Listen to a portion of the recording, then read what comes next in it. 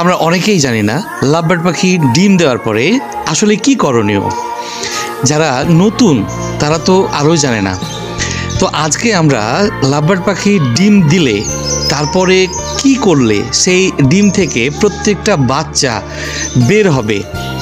কি রিকোয়ারমেন্ট আছে তার? ডিম দেওয়ার পরে আমরা তাদের বাসা কিংবা হাড়ি বক্সকে কীভাবে পর্যবেক্ষণ করব। কি করলে সে প্রপারভাবে ডিমে তা দিবে এবং সেই ডিম থেকে প্রত্যেকটা বাচ্চাই ভালোভাবে বেরোবে।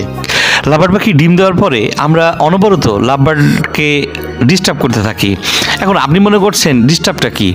দেখুন লাভবার্ড পাখি যখন ডিম দেয়, তখন আমরা বারবার ডিমটাকে চেক করতে যাই, বারবার দেখতে থাকি যে কি করছে, কি অবস্থায় আছে। আপনি বক্সে করেন কিংবা হাড়িতে ব্রিড করান, সেখানে কিন্তু আপনি অনবরত তাকে ডিস্টার্ব করেন। আপনি মনে করছেন যে আমি তাকে ডিস্টার্ব করছি না, কিন্তু সে তো ডিস্টার্ব ফিল করতেছে। এমনটি যদি হয়, তাহলে আজই সেটা বদ্ধ করুন। এমনটি হলে আপনি কিন্তু আপনার পাখির কাছ থেকে প্রপারভাবে বাচ্চা পাবেন না। মনে রাখবেন, ডিমে যদি প্রপারভাবে তা না দেই, তাহলে সেই বাচ্চা যদি বের হয়, তাহলে সেই অল্প দিনেই মারা যাবে।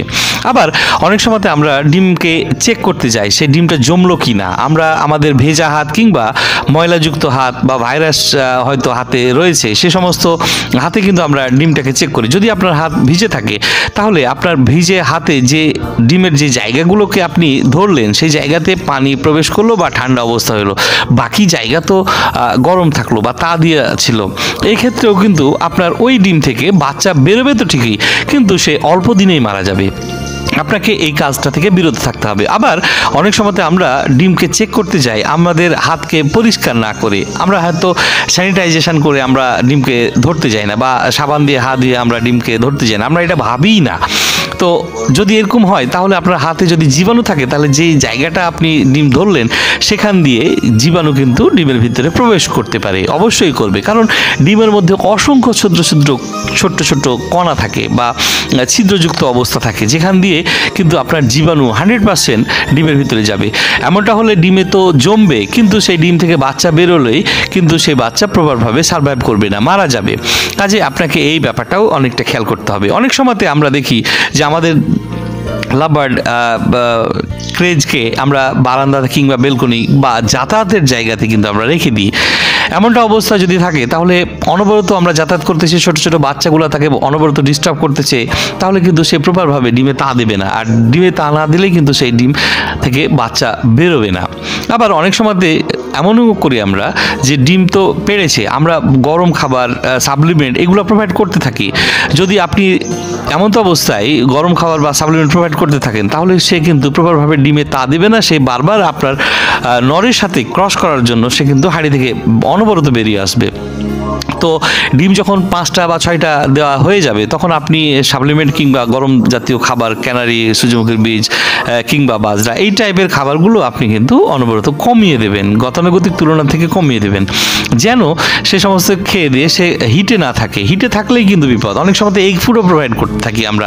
এগুলা কিন্তু ডিমে তা দেওয়ার জন্য অনেকটা ক্ষতিকর। তো আমরা এই সমস্ত বিষয়গুলোর উপরে অনেক বড় জোর দিব। তাহলেই কেবল কিন্তু আমরা ডিম থেকে বাচ্চা পেয়ে যাব।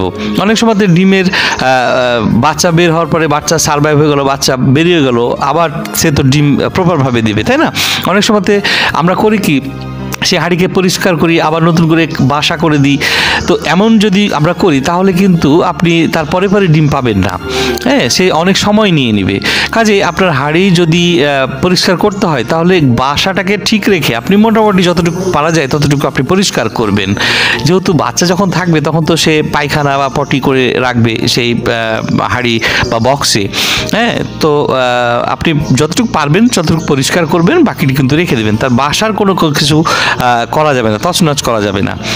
যদি আপনি তছনছ করেন, তাহলে কিন্তু আপনি ডিমটা অনেক দেরিতে পাবেন বা সে ডিম দ্রুত দেবে না। অনেক সময় আমরা যে নেস্টিং ম্যাটেরিয়ালস এগুলা ব্যবহার করি, সেগুলা যদি তার বাচ্চা বেরোর পরে যদি খ্যাড় বা অন্য আদার্স থাকে, যদি সেই নেস্টিং ম্যাটেরিয়ালস যদি ভালো মানের না হয়, তাহলে কিন্তু বাচ্চা ক্ষতিগ্রস্ত হবে। আবার পাখি যে তার ডিমে তা দেবে, সে কিন্তু প্রপারভাবে দেবে না। এই জন্য সবসময় ব্যবহার করতে হবে সফট জাতীয় নেস্টিং ম্যাটেরিয়ালস আপনি নেস্টিং ম্যাটেরিয়ালস হিসাবে কাঠের কুড়ো অর্থাৎ কাঠের যে ছোবড়াগুলো, এগুলো কিন্তু পারফেক্ট বাচ্চা বের হওয়ার পরে যদি সে বাচ্চা পটি করে, তাহলে সে কাঠের কুড়োতেই সে পটিটাকে শুষে নেবে। অর্থাৎ বক্স কিংবা হাড়ির যে কন্ডিশনটা সেটা কিন্তু অনেকটাই স্বাভাবিক থাকবে। সে পায়খানা করলেও কিন্তু সে পায়খানার কারণে সে কিন্তু ভেজ অবস্থায় থাকবে না, কিংবা হাড়ির যে বাকি ডিমগুলো সেগুলো কিন্তু ভেজ অবস্থায় থাকবে না। মনে রাখতে হবে, আপনাকে সেই ডিমটা যেন সব সময় শুষ্ক এবং ফ্রেশ থাকে। অনেক সময়তে পাখি কিংবা বাচ্চা পটি করে এবং সেই ডিমে কিন্তু লেগে যায়। তো আপনি অনেক সময়তে করেন কি যে সেই ডিমের অল্প তেনাতে পানি নিয়ে সেই ডিমটাকে মুছছেন, ধোন। তো এটা করলে কিন্তু আপনি অনেকটা লস করতেছেন। এইটা করলে আপনি আপনার পাখির ওই ডিম থেকে হান্ড্রেড পার্সেন্ট বাচ্চা পাবেন না, এটা নিশ্চিত। তো যদি এরকম পটি লেগে থাকে, তাহলে আপনি শুষ্ক ফ্রেশ তেনা দিয়ে আপনি তাকে অনবরত একটু মুছার চেষ্টা করবেন। যদি মুছে উঠে যতটুকু উঠল উঠল, না হলেও সেটাকে সেভাবে রেখে দেবেন। তবে নেস্টিং ম্যাটেরিয়ালস কিন্তু খুব গুরুত্বপূর্ণ একটা পার্ট আশা করি এই সমস্ত বিষয়গুলো আপনি যদি মেনে চলেন, তাহলে আপনি আপনার পাখির কাছ থেকে ভালো মানের ব্রিড পাবেন। আমাদের তথ্য অবশ্যই আপনাকে উপকৃত করবে। যদি মনে হয় যে উপকৃত করতেছে এই তথ্যগুলো, তাহলে অবশ্যই আমার চ্যানেলটিকে আপনি সাবস্ক্রাইব করবেন।